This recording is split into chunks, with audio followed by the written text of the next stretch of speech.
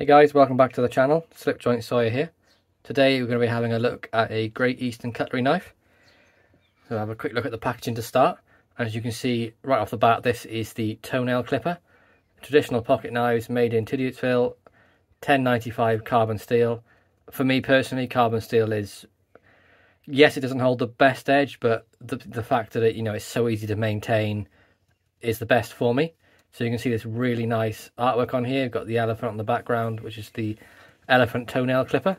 And if we look at the model number for this, you can see that is the 36 pattern with um, the 3, which is the blade designation, the 1 blade and 22, meaning it's a 2022 made one. And you can see this is in the India jigged bone. As you can see, it comes in the standard, really nicely presented tube. And inside there, you know, it's just wrapped up in some bubble wrap and a bit of wax paper at the bottom. Really nice presentation from this. It does keep the knife really secure when it's arriving.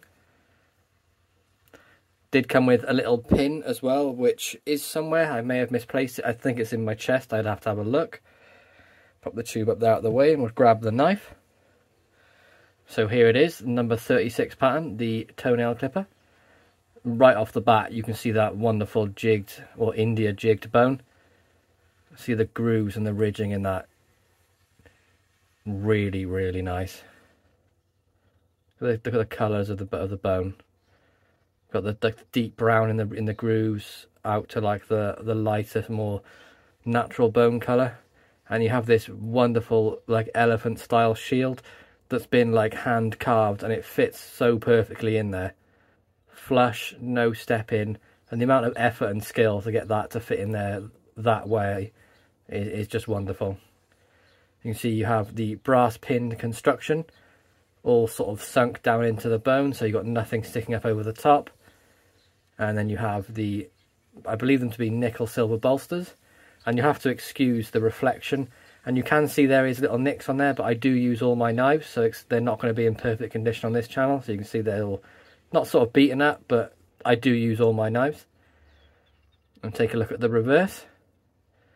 Again, you can see that really nice bone, deep ridging, brass pins, transitions perfect as you would expect. Just look at the colours of that. For me, jig bone is, is the best handle material by far. It's natural, you know, you can work well with it and do so much with it. Take a look at the back of the back springs. Absolutely perfect. A little bit of patina coming on in this. And you can see dead down the centre as well with a perfect termination.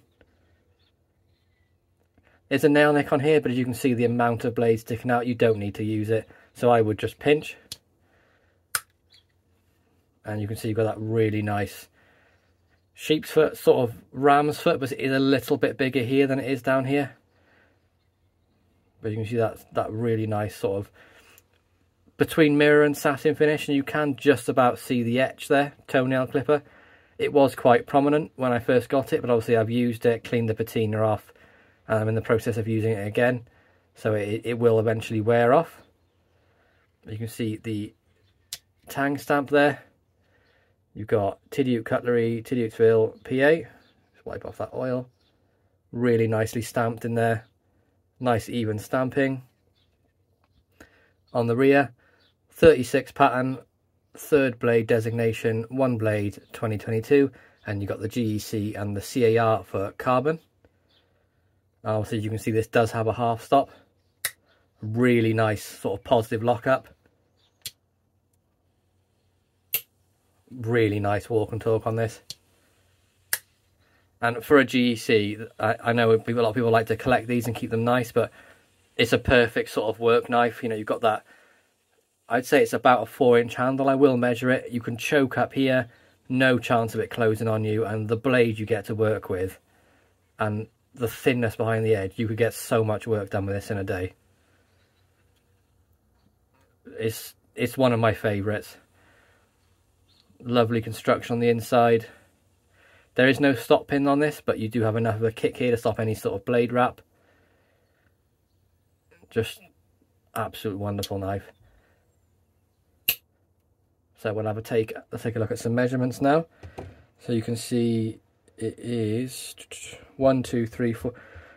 That's actually four and a quarter handle. So quite a large sort of handle scales there. And we'll take a look at the blade measurement. So you can see here we have, try and line it up, bang on maybe just a hair over the three inch mark, but that is the full blade length. And then the cutting edge, you've got 2.75 or two and three quarters. So easy UK legal knife for me. You can see that nice sort of subtle swedging on the top there. Not too aggressive, it is quite rounded over. Really nice clean nail nick. And the swedging does start from quite far back on the blade. Same on the reverse. Really, really nice. You can see some patina coming on there as well. Just wipe off the blade and my grubby fingerprints all over it. Just overall, a fantastic knife from GEC. Agreed, it might not be everyone's cup of tea with the you know the equal-ended sort of jack pattern, but for the grip you can get on it and the amount of work you can do in the day, I've not got the smallest hands, say I've got about a medium hand. You do you probably definitely get large hands on there easy. You could even even sort of hold it back here to do sort of pull pull cuts, which you can get your finger in that little groove to stop it closing at all. You can definitely do a lot of nice work with this. So there we go guys, this is my overview of the 36 pattern, the elephant toenail clipper from Great Eastern Cutlery. Let me know in the comments what you guys think. Do you like the bone as much as I do? Because I love it. Hope you all have a wonderful bank holiday Monday. I'll speak to you on the comments. Make sure you like, subscribe and ring that bell for notifications.